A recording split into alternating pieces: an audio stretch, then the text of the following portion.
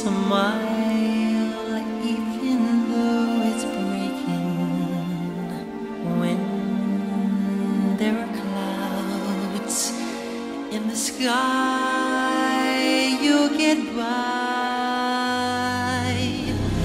If you smile through your fear and sorrow, smile.